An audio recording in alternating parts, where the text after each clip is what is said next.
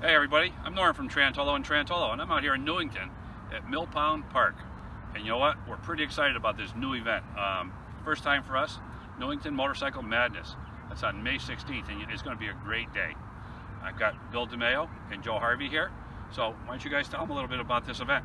This is exciting. Thanks so much for Trantolo and Trantolo coming on board this year. It's our fourth year, Thursday, May 16th, Mill Pond Park, Newington, Connecticut, 4.30 to 9.30. And this year we added fireworks at the end, close proximity fireworks at 9.30.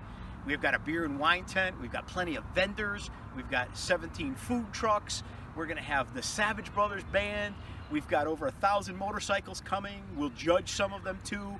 It's going to be exciting. It's all free to the public, so all the public can come to Mill Pond Park and enjoy looking at motorcycles and checking them all out.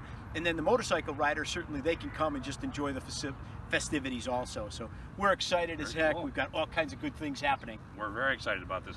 Joe, have you got some input on this? Yeah, like Bill said, this event has something for everyone. Um, you know, children to adults, come enjoy the food. You know, all the product vendors. Like Bill said, the fireworks show is a big feature this year. I think a lot of people are going to look forward to it. And uh, you know, we're just going to hope for a good day. And uh, we're looking forward to partnering with Trantolo. Cool, cool. I, uh, you know what? I'm, I'm really excited about this because, like I said, it is our first year, um, and you guys have done something different. Nobody's ever, ever done this. The fireworks. That's right. That's incredible, you know, and everybody likes fireworks. just so everyone knows, because of the safety features of fireworks, we didn't have enough room because we get five to 10,000 people show up in the evening.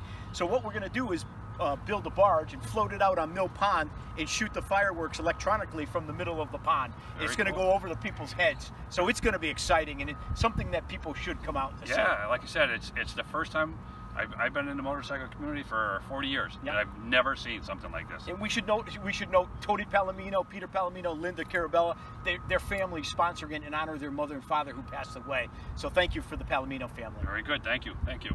So, like I said, May 16th starts at 4:30. Guys, make sure you get on your bike and you get out here. See you soon. right, Thanks. see Remember, ride for tomorrow.